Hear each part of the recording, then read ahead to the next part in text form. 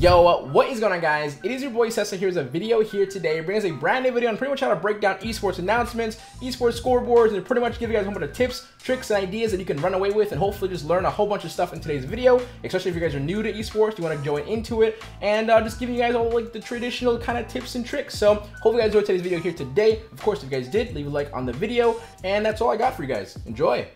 Alright homies, so let's go over one of the most effective and traditional ways to lay out your announcements or your scoreboards for your esports teams starting off with showcasing some ideas to actually lay out your pictures.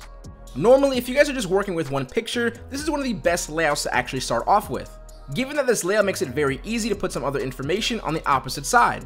And if you guys are beginners, it's honestly super super easy to do. All you have to do is make a new layer, then on your new layer press M on your keyboard for the rectangle marquee tool. Now of course just click and drag to make your rectangle, and since the color that we're filling in does not actually matter, this rectangle is just a mold, we can press Alt Backspace to quick fill a color inside. Then right when your color is filled in, you can either right click deselect or press Ctrl D. Now, all you guys have to do is take your picture and clippy mask the picture to the rectangle to have that shape be what holds your photo. And just like that, you do pretty much what half the community does already. Now, although I only showcase using a rectangle, you can also use a pen tool to make really fun and random shapes that could be a super awesome way as well to make a mold for your pictures. Whether if you go crazy or not, you can simply just make a random just one little zigzag and that alone can really help set a tone. Because now you guys have something that can be really consistent in other designs to really help solidify a really cool branding element. So nothing is really off the table, it honestly just comes down to your design vision and your ideas at the end of the day.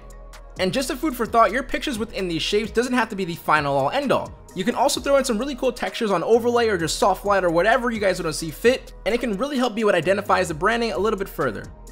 Now, even though having a photo in a shape is a cool option, of course having a cutout of a player is also a method I use a lot. Now, when using cutouts of players, you want to make sure you're sizing photos appropriately to the space that you're actually given. So in something like this 1920 by 1080 document size that I'm in right now, be sure your player photo isn't too small and it comes off awkward because of the space you fail to use. Once you guys end up finding your centering though for your photo, you can move on to some really cool ideas that can help fill some space even further. The first idea is taking a cutout of a game character that of course is tied to the player or the talent that you have possibly in the design. Now, with the character cutout, you can place it behind the first photo of the talent in a way that helps direct viewers to what game the scoreboard or the announcement might be about. You can also add value as well by going under adjustments and selecting a gradient map. Then with your gradient map, you can clippy mask it to your character photo and make a very simple gradient like black on the left and a color on the right side of your choice. This idea can help tie in the color scheme of a team that you're designing for, but also help suppress the game character from taking too much attention away from the player.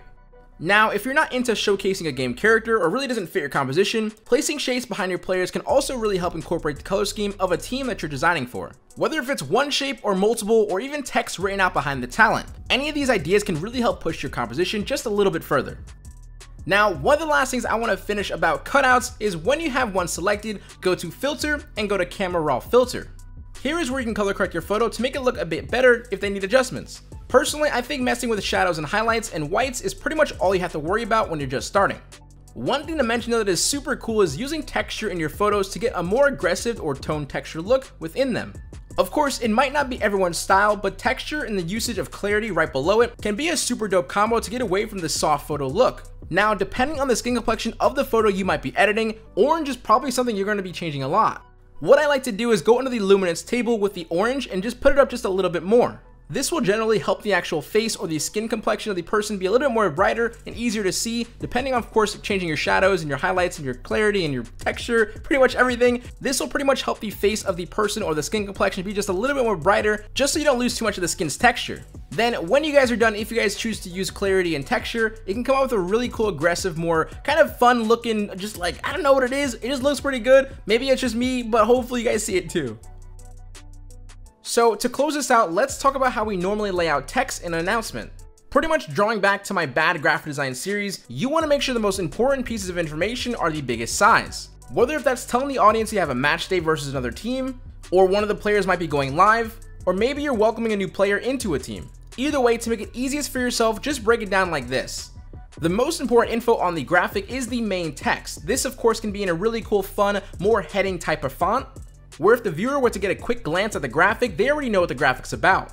Then for things like dates or supporting information, that is what you put as the subtext. For other cool things to include, maybe adding descriptive or random information type texture, maybe where you add player names of each person in a photo, or fill people in what game they're actually playing.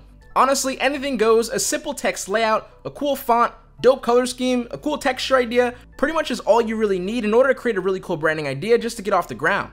Take it from me where I pretty much built two different brands now 100 Thieves and LA Thieves. They realistically, there's not that much different. It's just reconstructing how you put your type, a different font, and just thinking differently and creatively how you can lay things out. The quick moral to that story is pretty much don't overthink it, have fun with it, and you might come out with something you really, really love.